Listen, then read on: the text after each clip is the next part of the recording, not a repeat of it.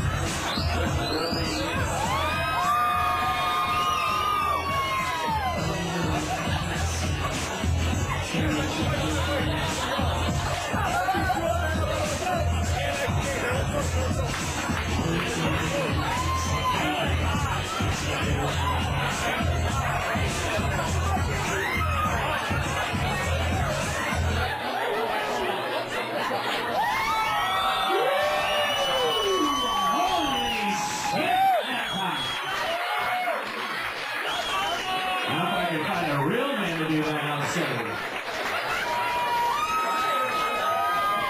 Let's give it up for Mary Jane and Holly Wright.